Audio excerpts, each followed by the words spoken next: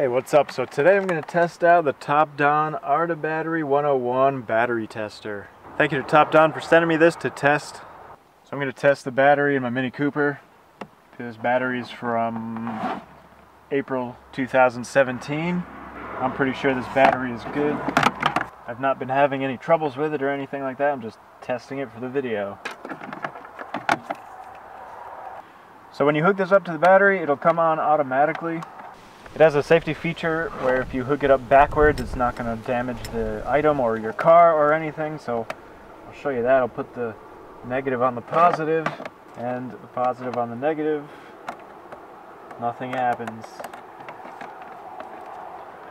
So now I'll put them on the correct side so I can test the battery. You can do an in-car test or out-of-car test. So when you hook up the cables, the Topdon ArtiBattery comes on automatically and tells you your battery voltage right there. You hit OK, you select your language, choose whether the battery's in the vehicle or out of the vehicle, choose whether you're testing the battery before charging it or after charging it. This is before charge. Then you got your battery type selection. You got regular flooded, AGM flat plate, AGM spiral, gel, EFB and back to regular flooded. Then you got your input type SAE, MCA, BCI, CA, CCA, DIN, JIS, EN, IEC, GB, and back to SAE. Those are the different battery standards that are out in the world.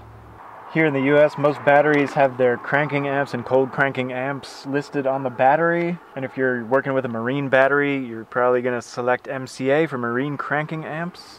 I'm going to go with cold cranking amps for this battery.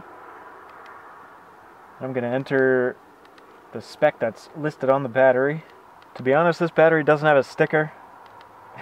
I got this battery from the junkyard. I don't really care. It fits in this little spot here and it starts the car. So I'm going to go with 450.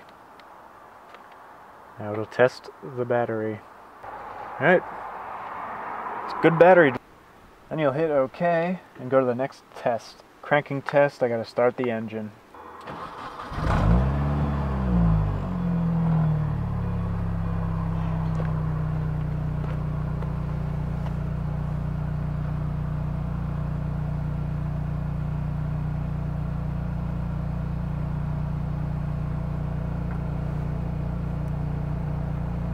Now we can move on to the next test, which is the charging test.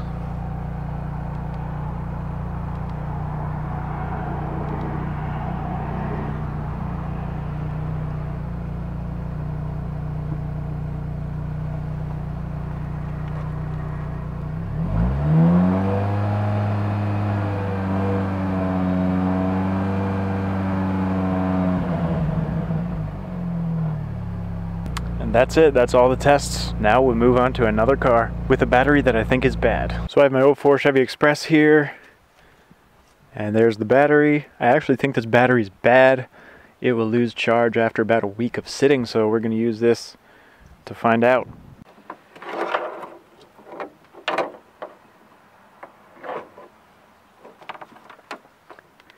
Eight forty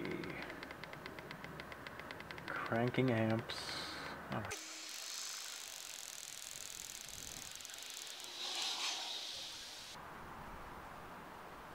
Yep, replace. It's telling me to replace it.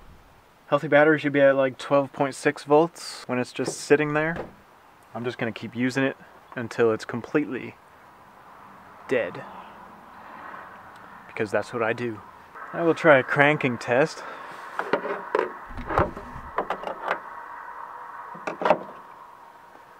Because it's good enough to start the engine, but it struggles a little bit.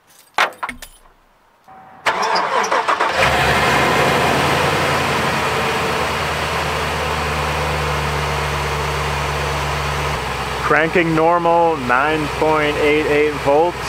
See, it's good enough to start, but it's not an incredibly healthy battery. Now we'll do a charging test.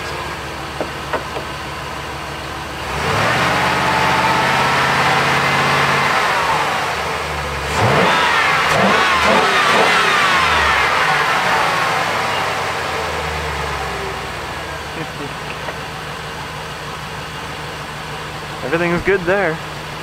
And now we have completed the three tests that this little unit can do. The battery's bad, but it still works, and I should be expecting to replace it sometime soon. Another cool thing about this is the screen is backlit, so you can use it at night. So thanks for watching. If you like this video, give it a thumbs up. Subscribe for more videos like this.